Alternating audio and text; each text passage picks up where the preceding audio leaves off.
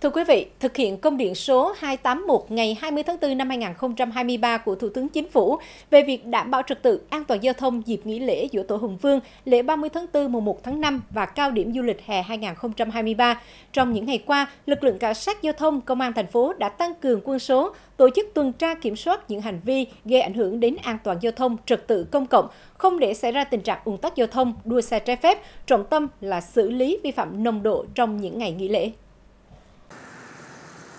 Theo đó, Công an thành phố chỉ đạo các lực lượng tăng cường công tác tuần tra kiểm soát và xử lý vi phạm trật tự an toàn giao thông, đấu tranh phòng chống tội phạm trên các tuyến giao thông. Đặc biệt chú ý trong dịp nghỉ lễ Dỗ Tổ Hùng Vương, lễ 30 tháng 4 và mùng 1 tháng 5, xử lý nghiêm các hành vi là nguyên nhân trực tiếp gây tai nạn giao thông, vi phạm về nồng độ cồn, ma túy, chạy quá tốc độ quy định, chở quá số người quy định, không chấp hành hiệu lệnh đèn tín hiệu giao thông,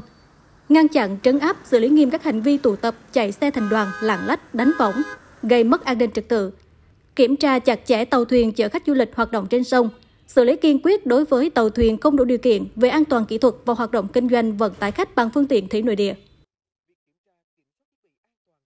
Lực lượng cảnh sát giao thông à, xác định là trong cái dịp lễ à, 30 tháng 4 và 1 tháng 5 này à, sẽ à, không để xảy ra tình trạng ùn tắc giao thông, không để xảy ra ùn ứ giao thông. À, về tai nạn giao thông là sẽ kiềm chế à, so với cùng kỳ à, và à, kiềm chế so với thời gian liền kề. À, nhất là việc là hướng dẫn cho người dân tham gia giao thông đi qua địa bàn thành phố Đà Nẵng và tham gia ở trên tất cả các cái tuyến đường là đảm bảo việc thông suốt, à, an toàn.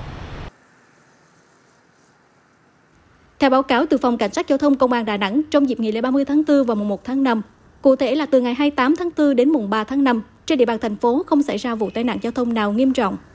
Lực lượng công an từ thành phố đến quận huyện, xã phường tăng cường tuần tra kiểm soát, qua đó phát hiện hơn 1.300 trường hợp vi phạm trật tự an toàn giao thông, ra quyết định xử phạt gần 350 trường hợp, chuyển kho bạc nhà nước thu hơn 700 triệu đồng và tạm giữ gần 350 phương tiện.